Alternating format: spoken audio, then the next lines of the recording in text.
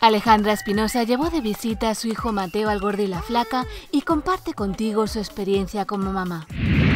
Mi momento favorito de un día con Mateo es cuando me despierto y cuando, mejor dicho, cuando él se despierta y se comienza así a estirar y hace como unos movimientos muy extraños. Me encanta verlo y siempre se despierta con una sonrisa, que yo creo que es lo que me alegra el día. De los errores que más he cometido es eh, confiarme demasiado de, que el niño no se va a mover o lo que sea. A veces me ha dado sustos porque lo dejo en el centro de la cama y me voy a agarrar algo y de repente el niño ya se mueve. Se me pasan los días tan rápido y, el niño comienza a, hacer cosas que de repente un día avanza en la cama cuando el día antes no lo hacía o se voltea y el día antes no lo hacía. Entonces es, es complicado. Mateo, todo el mundo dice que es igualito a Aníbal, pero a mí yo creo que se parece en la boca. Tiene la misma boca, tiene la misma sonrisa, no solamente mía, sino de mis hermanos. Todos tenemos como un tipito de sonrisa que es la que tiene Mateo. Tiene mi carácter.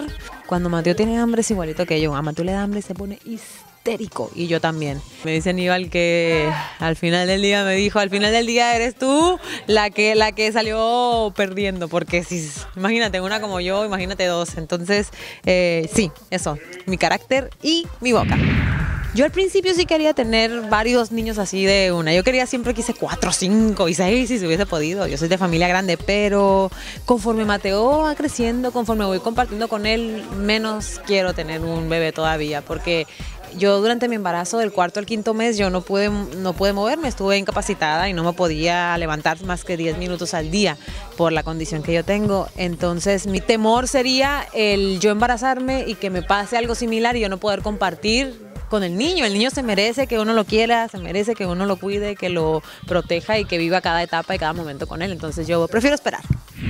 Un beso enorme a todos de parte de su amiga Alejandra Espinosa. Gracias por siempre estar al pendiente. Desde Miami, Mezcal Entertainment